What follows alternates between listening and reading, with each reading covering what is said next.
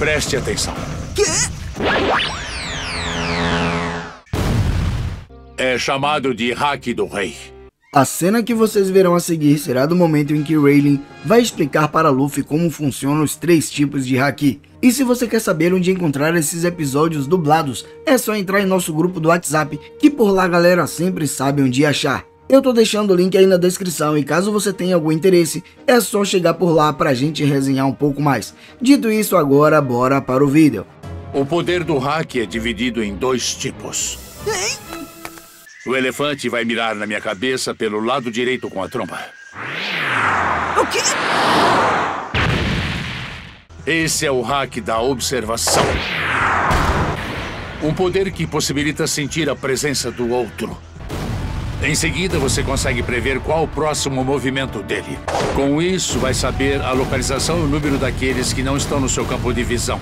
O próximo é o hack do armamento. Nesse caso, imagine estar vestindo uma armadura invisível.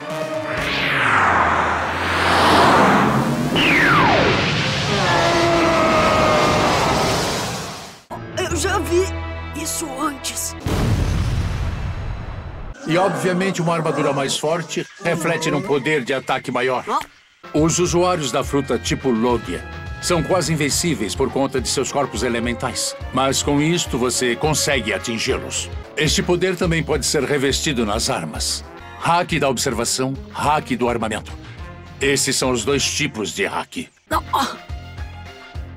Entretanto, algumas poucas pessoas ainda são capazes de usar um terceiro tipo de hack.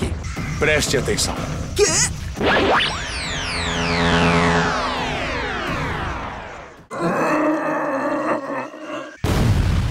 Este é o poder que intimida o seu oponente. É chamado de hack do rei. Entretanto, ao contrário dos outros hacks, este pode ser dominado, mas não existe treino que o desperte. Que maneiro! Um companheiro do rei dos piratas consegue derrotar um monstro desses sem nem encostar nele? Curiosidades da cena. No mundo de One Piece, é dito que poucas pessoas têm Haki do Rei. Porém, os fãs começaram a questionar a respeito disso, devido à quantidade de personagens que vem aparecendo ao longo do tempo, se mostrando usuário de Haki do Rei.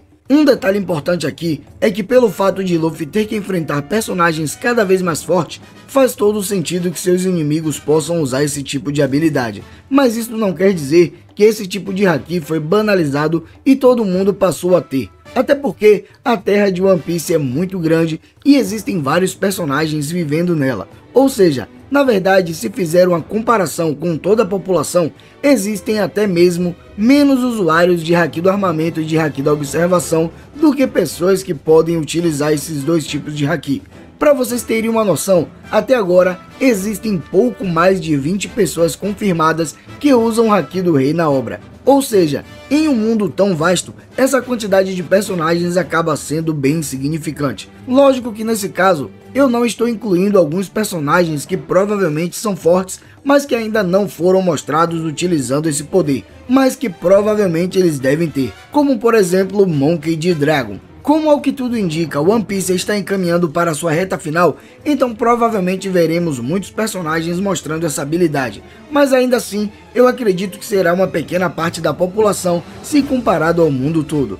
Dito isso, galera, já diz aí nos comentários, vocês querem que apareçam mais personagens com esse tipo de poder para que Luffy possa ter uma luta mais empolgante? Ou você acha que Luffy tinha que se destacar cada vez mais e por isso seria melhor que não aparecessem muitos personagens que pudessem usar esse tipo de poder? Deixa aí a sua opinião que eu quero saber. E já aproveita também para deixar o seu like, se inscrever no canal e ativar o sininho caso você tenha gostado do vídeo. Por agora isso é tudo, eu fico por aqui, um abraço e fica com Deus.